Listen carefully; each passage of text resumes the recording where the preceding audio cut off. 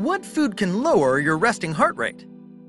You don't want to have a high resting heart rate. A resting heart rate above 65 beats per minute is a strong independent risk factor for premature mortality and stroke, and also cardiovascular disease. There is good evidence for increased risk of cardiovascular disease with an elevated resting heart rate.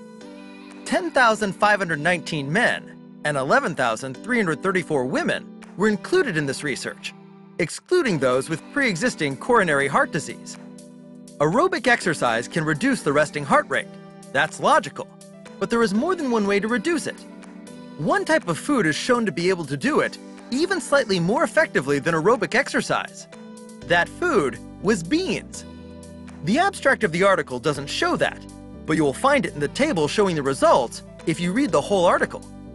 It's quite amazing that a food like beans can lower resting heart rate, but the evidence is there.